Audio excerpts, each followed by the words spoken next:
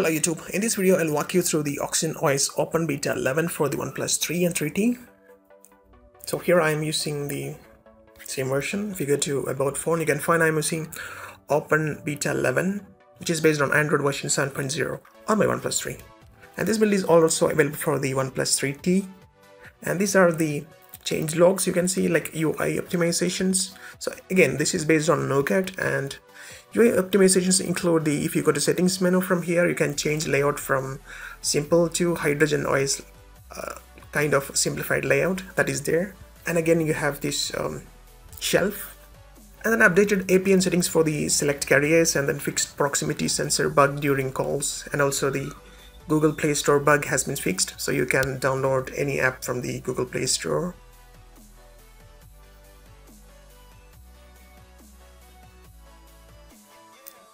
So here you can see it started downloading, so no issues with the Google Play Store.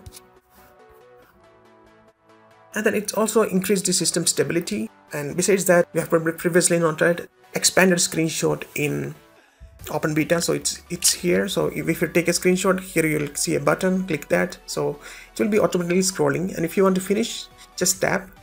Then you will get a long screenshot.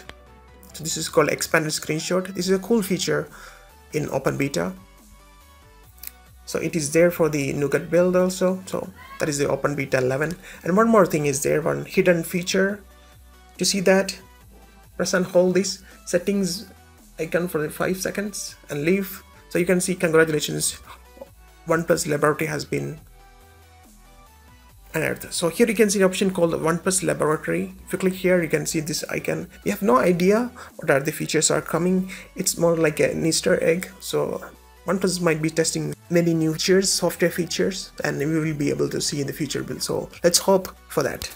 And talking about the benchmarking, so this is the benchmarking test I've got, and I'm using the data as F2FS, and this is the benchmarking test I've got.